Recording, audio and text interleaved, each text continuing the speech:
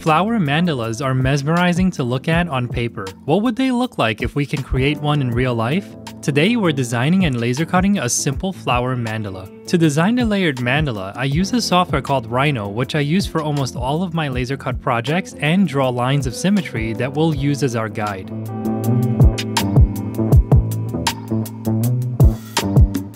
Then, I focus on creating the outside flower petal design in one quadrant of our guide. To do this, I draw lines to create specific points within the quadrant and use the Curve by Points tool to create a simple curve. By selecting it, we can drag the points and control the density of the curvature. I continue this process of drawing lines as my guide and curves to create additional flower petals within the overall design. Once the design is complete in one quadrant, I select the entire pattern, turn it into a block, and use the Array Circle command to copy it around the center point of our guide 12 times. This places it in each quadrant. Now we can double click one block, make changes like deleting the overlapping lines and completing the change. This applies it to all of the blocks.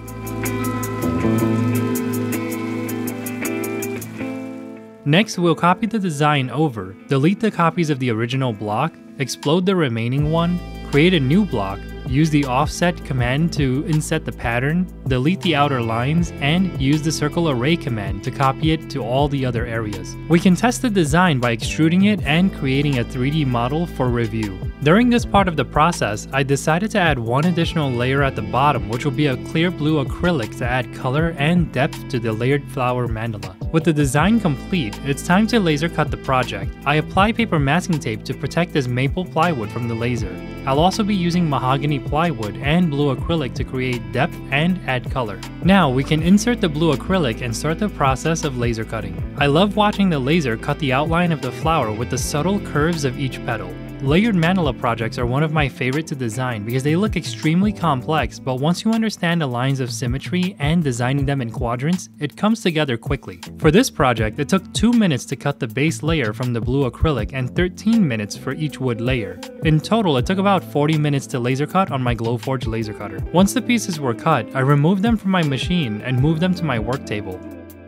I removed the paper masking tape to reveal the beautiful wood finishes and the blue acrylic. I brought over my Maxi-Cure super glue and applied it to the backside of the layer above the base.